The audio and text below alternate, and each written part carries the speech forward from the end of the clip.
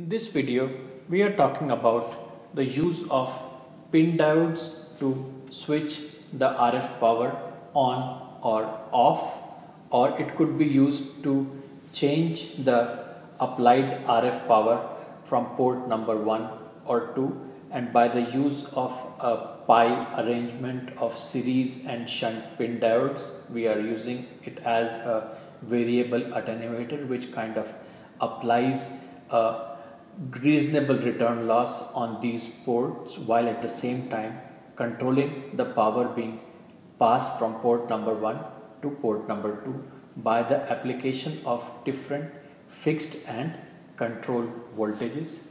In this case, the same pin diode switches are being used in series and shunt arrangements as you can see here.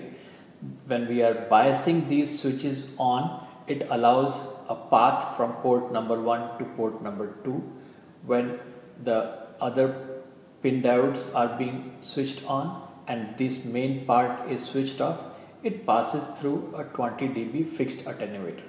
So it applies the power in two paths one direct path one path via a fixed attenuator.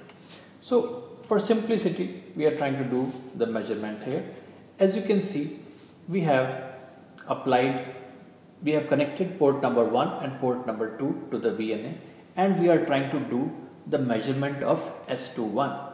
So in this case this pin diode are basically two pin diodes in series of the microstrip transmission line.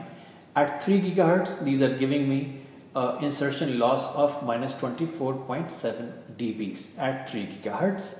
Now the moment we apply a biasing voltage at this port via the DC voltage being provided.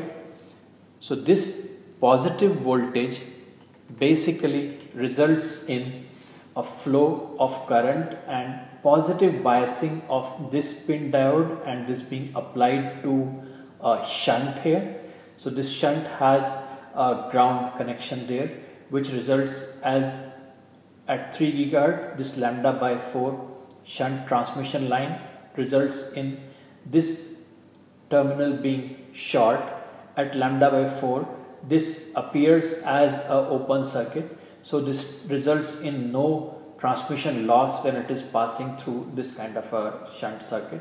This basically results in a bias path while at the same time does not allowing the RF to be passed through this shunt inductor. So we can see on the display that this forward bias has resulted in an insertion loss of about minus 3 dB at 3 gigahertz. We again try to unbias it when it is switched off in the off condition we can see again on the display that the display has gone down to minus 24 dB. So about 20 dB is the insertion loss or isolation between this pin diode series switch arrangement.